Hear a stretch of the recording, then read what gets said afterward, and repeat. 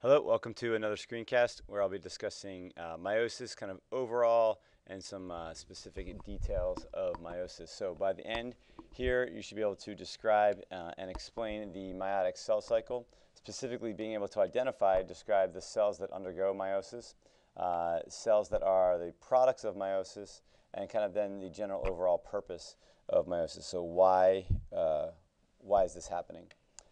And B here, then the mechanism of meiosis. This is sort of how it's happening. Uh, so what are the stages or steps of what's happening in meiosis 1, what happens in meiosis 2. That's kind of the nitty gritty details.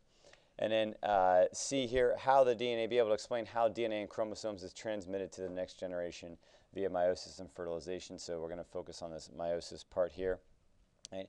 And then D, uh, using uh, mammalian meiosis or meiosis in mammals as an example uh, to show uh, all of these details uh, up here, this meiosis 1, meiosis 2, the cells that undergo it, et cetera. So we had seen this before. This is the sexual life cycle of sexually reproducing organisms, and we're using humans as the example here. But do, of course, keep in mind that other sexually reproducing organisms, much as plants, the angiosperms, flowering plants, um, as, a, as, a, as a good contrast there, um, also will perform this. And the the basic phases here are, of course, meiosis, which is reducing the chromosome number uh, from 2n to n in the, uh, in, in, the gametes. Um, you also, uh, that sexually reproducing, well, remember that sexually reproducing organisms like fungi will also uh, do this, and they, um, the gamete is not necessarily the, the uh, result there, but instead in plants and in fungi, uh, the result is spores. Right? And again, so spores are also haploid. But here in this diagram, we're showing you uh, mammalian uh, meiosis, you produce these uh, haploid gametes here that's then reunite in fertilization. This is the second half of the life cycle. To the uni uh, unity of the gametes here gets you this fertilized egg, this zygote, right, which then is going to grow and develop mitotically into the adult organism, the adult diploid organism here. Uh, another screencast, and in class we will be focusing on what the difference is between mitosis and meiosis, and there is definitely a difference between them, but there are some things that are similar, right? so you're going to be thinking about that as well. So here we go with the meiotic cell cycle. Uh, so the meiotic cell cycle uh, passes half a genome right, from germ cell to gamete or spore. So the cells that are going to undergo meiosis are sometimes referred to as germ cells. Right? Germ, germinating, new growth, new generation. Uh, that is kind of the, the emphasis there. And you get either a gamete or a spore. And in plants, this, this, is plants and fungi, and in animals you get uh, the gametes here. So uh, we've seen this cell cycle diagram before where we have this interphase and there's going to be a G1, this DNA is synthesized, and then this G2 phase. So this is the same in the meiotic cell cycle. So in a germ cell, uh, germ cells are going to be signaled to undergo meiosis and not signaled to undergo necessarily mitosis, right? even though um, you get a lot of germ cells mitotically. But uh, we're talking about this special case here where this germ cell is going to be signaled to undergo a meiotic division. Right? So the first thing that does happen, similar to the mitotic cell cycle, is you get this, this synthesis of DNA, right, where you're getting individual single chromosomes uh, being replicated into uh, the sister chromatid form there. So they'll sometimes also just you know quickly abbreviate this as drawing it like an X, but you're noticing that you have two sister chromatids there, identical copies. Right? Then after this G2, you get this meiotic phase. And the, the meiosis, there is two separate uh, sections here, meiosis 1 and meiosis 2. So there are two rounds of cell division. So this individual cell, this individual germ cell here that uh, was signaled to undergo meiosis will undergo two rounds of division to end up getting then four cells down here. And the unique thing about meiosis is that one, these, these four cells down here are all haploid. This germ cell by definition has got to be diploid. So all these uh, cells down here, uh, these are either gametes or spores depending on who you are. They are haploid uh, and they are uh, genetically unique, genetically unique, which we'll discuss about in another uh, screencast. Right? And so these four germ cells down here are the result of the meiotic cell cycle. So what's happening here, this is kind of a more little bit more detailed view of what's happening, is that this homologous pair of chromosomes up here exists in a germ cell. So this is, again, supposed to be the germ cell. And that germ cell will be signaled to undergo meiosis. Well, the first thing that happens, though, however, is that all those homologous chromosomes, all those chromosomes, right, are going to replicate, right? So there's a uh, replication here in S phase just like it was in the mitotic cycle. So all of those homologous pairs will, sorry, all those chromosomes will replicate. Now, the interesting thing here, the difference in the mitotic phase is that the homologous chromosomes will pair up, right? They actually pair up, and this is a process that is called synapsis. And the result of synapsis, so synapsis is a process. The result of synapsis is a tetrad. Tetra meaning four, and what do you have four of? Well, you have four chromatids here, one, two, three, four, right, in this homologous pair. So the diploid cell with this replicated chromosomes right here, this is what's actually going to then enter the meiotic phase. So in this interphase up here, notice that this is interphase of meiosis. That is the same, same thing except for you're going to have this pairing then in uh, the prophase 1. Right? Now meiosis 1 then is the first round of division. Right? And so you're going to get a cytokinesis, splitting the cell there. But what happens here is that you uh, reduce the chromosome number from 2n to n. So you go from diploid to haploid here. And that happens because the homologous chromosomes, or the homologous pairs, uh, split from one another. So a, the maternal chromosome and the paternal chromosome separate. So this is a key feature of meiosis right here. One key feature is that you reduce the chromosome number, and it happens there in prophase 1. Right? Sorry, in, in meiosis 1. In prophase 1, you get the synapsis, right? you get metaphase 1, where these homologous chromosomes line up on the, on the, on the plate. Right? And then in anaphase 1, telophase 1, cytokinesis 1, you actually have the separating of the homologous chromosomes.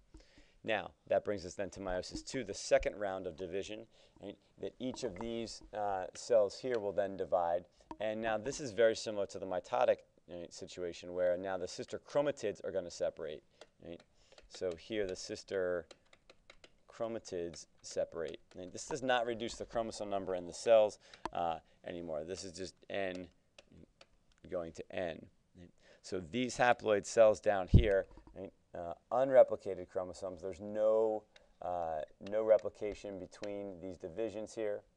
And so you end up getting four uh, cells. Each of them is haploid because of meiosis 1. Right? So the animations, uh, I put a whole bunch of links uh, to animations on Blackboard.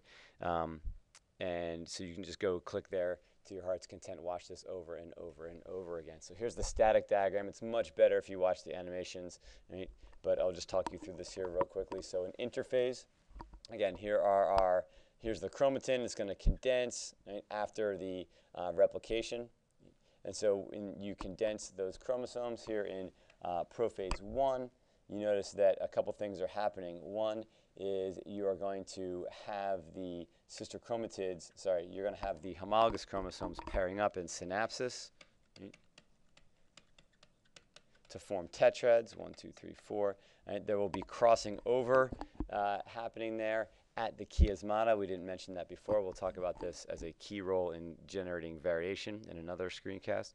So the homologous chromosomes here pair in synapsis, exchange segments uh, in at the chiasmata. This is the uh, crossing over bit here. You're generating um, uh, recombinant chromosomes here. So this prophase, you have the spindle forming, right? You're going to have the centromeres with their with their kinetochore proteins. Right? The homologous pairs then in metaphase are moved to the metaphase plate. Here's a very interesting point here is that this metaphase plate is in this plane, and the metaphase plate separates the homologous pairs. The question would be, right, how, how would metaphase and mitosis look different? How would this cell look if it was going to be undergoing mitosis instead of meiosis? That's something to, to think about, and we'll discuss that in class. Um, the, then in anaphase, what's happening here is you see that that homologous uh, pair is being separated, right? So one homolog is going to one pole, the other homolog is going to the other pole. So this is where the uh, chromosome number is actually being reduced here from 2n to n is in this anaphase 1. Right? Then that's followed by uh, telophase 1, cytokinesis 1, right, on the left of this diagram. Right? And now there is no replication, no replication here um, of all these chromosomes, and you go into this meiosis 2. Now meiosis 2, all of these cells are, are diploid, sorry, strike that, all these are haploid cells, and they are going to be uh, undergoing meiosis 2. And now uh, prophase 1, there's no real nuclear membrane right there. And the uh, metaphase 2 plate is here, and the metaphase 2 plate lines up uh, down the centromeres here so that on either side of that metaphase 2 plate there's a sister chromatid. So now in anaphase 2 of meiosis 2, uh, anaphase 2, the chromatids separate, and this is what makes it like mitosis. Right?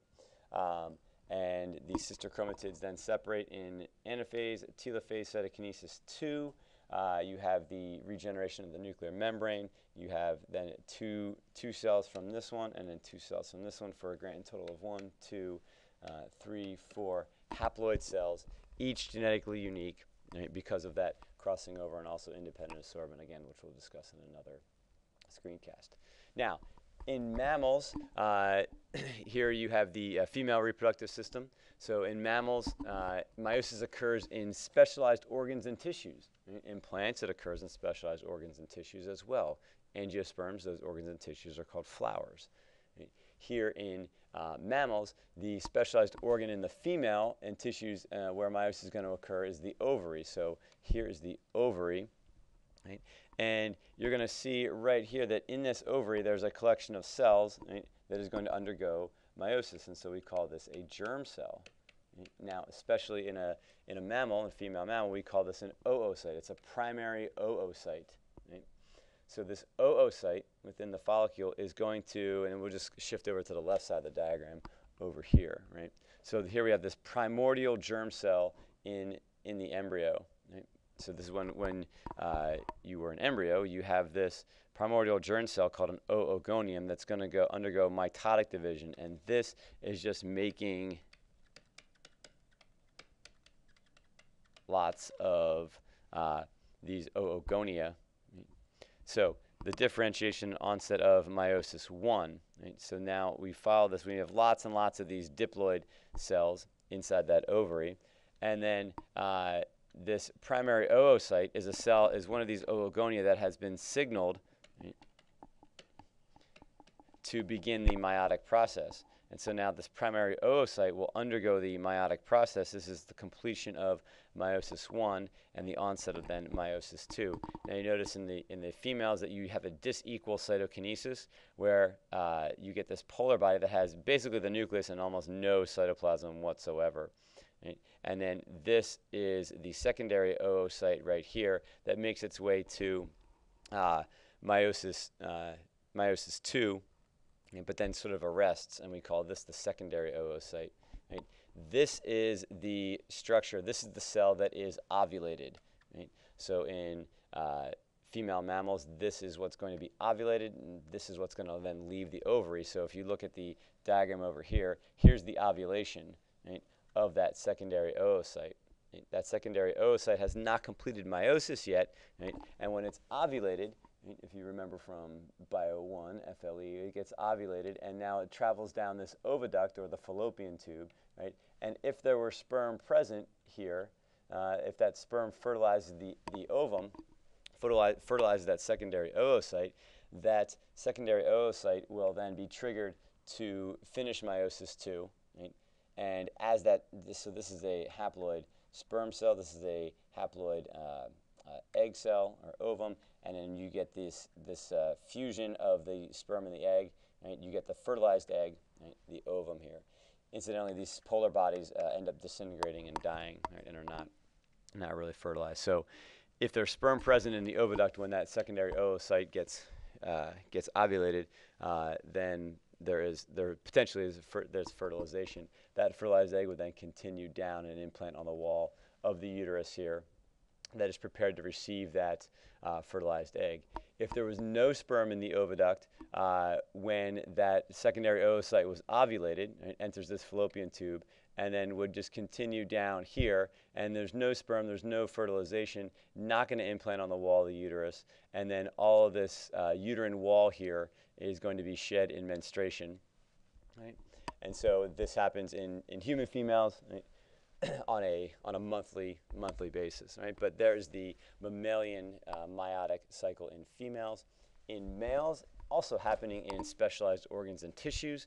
Uh, we call these testes in the male. Right? So here, here is uh, a a testis, right? and if you uh, look here, so the the testis, this is where these specialized cells are going to be undergoing meiosis and producing the sperm. Right? You have the structure of the epididymis, where they're going to mature and gain the ability to sort of uh, uh, motility to swim, that is. And then um, during ejaculation, those sperm move up the vas deferens right, uh, around the, uh, uh, the ureter there and are then ejaculated out through the uh, urethra. Right? Now, the, what's interesting about this, where we want to focus here, is of course on the meiotic part here. So within the testi, right, we take a little cross section through one of these tubules here. And so now here is the uh, cross section. We have this cell right here. If we come up to here, this is a spermatogonium. And again, this is a cell that has been made lots and lots and lots of. And so you have this mitotic division. You're getting lots and lots of spermatogonia. And then uh, there are signals that signal that spermatogonium to undergo meiosis. So now we have this primary spermatocyte in prophase 1. Here, and you notice that the cells are migrating this way in, in the tissue toward the, toward the tubule here, toward the seminiferous tubule. And so uh, as this cell, as this primary spermatocyte undergoes uh, meiosis, here's meiosis 1, you get secondary spermatocytes. Those secondary spermatocytes then enter meiosis 2, and you get then, the result is a spermatid. And again, these spermatids are not yet mature, and you see them right here and then the differentiation of those spermat uh, spermatids into actually uh, sperm cells or spermatozoa here right, uh, completes the completes the process. But you see that there is equal cytokinesis here, and there's equal cytokinesis here. So all these sperm right, are gametes. They are all haploid because of that meiosis. Right? Pardon me. So some examples, some specific examples and specific names of some cells uh, and tissues uh, related with the mammal here. This uh, image, this is a little, another little animation that if you run the PowerPoint, you can click on and it'll run.